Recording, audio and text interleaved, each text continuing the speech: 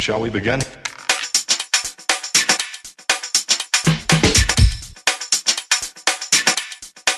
Let's begin.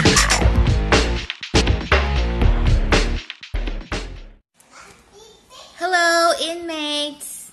Today, matututo po tayong gumawa ng Dalgona Coffee. Apo! Sugar, spice, and everything nice. This is for the ingredients for Dalgona Coffee. And yes, later.